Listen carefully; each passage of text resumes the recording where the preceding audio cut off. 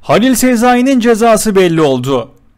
Tuzla'da 67 yaşındaki komşusunu darp ettiği iddiasıyla 13 yıl 10 aya kadar hapis cezası istemiyle yargılanan Halil Sezai davasında karar çıktı. Sezai 1 yıl 11 ay 17 gün hapis cezasına çarptırılırken kararla birlikte tahliyesine karar verildi.